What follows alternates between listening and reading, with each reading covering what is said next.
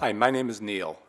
In April 2011, I started a cough, and the cough didn't stop.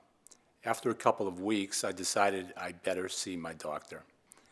He told me that even though I've been healthy my whole life, had not been a smoker, or had not been exposed to any type of chemicals that I was aware of, that I had lung cancer. Within a few days, I saw an oncologist. He told me that the best thing I could do was to have a biopsy so we could make a real determination of what I had and the di direction that needed to be taken as far as any therapies. The results came in, and yes, indeed, I did have stage four non-small cell lung cancer, and even more than that, I had a mutation that approximately 15% of the people have. It's called the EGFR mutation.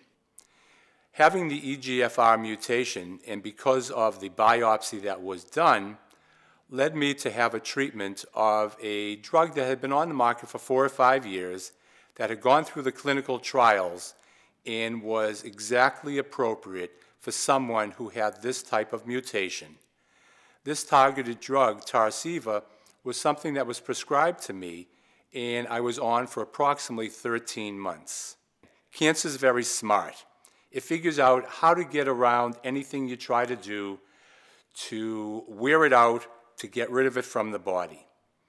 And sure enough, after the 13 months, I started to progress, started to have some of the same symptoms, so it was time to try something else.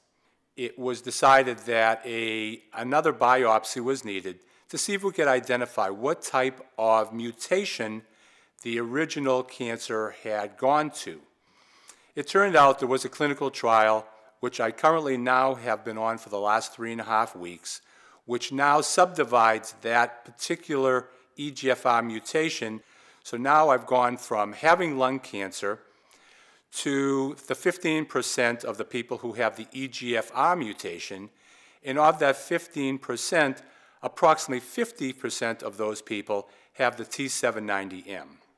So I've been on that clinical trial for just over three weeks, and within the first two days, it started to help.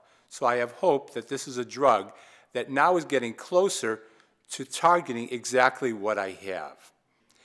Having the biopsy allows the doctor to hone in more on you as an individual. It's my hope that the trial that I'm on, that research that's being done, that additional tissue samples that will be taken from me and many other people will allow the treatment to really be individualized so that the treatment that you get is absolutely the correct one for you and what I take is the correct one for me. But it really is incumbent upon us that we put ourselves out there, that we make ourselves available for the different trials, that we give information as much as we possibly can so that we're able to overcome this disease for me, for you, and for all of us.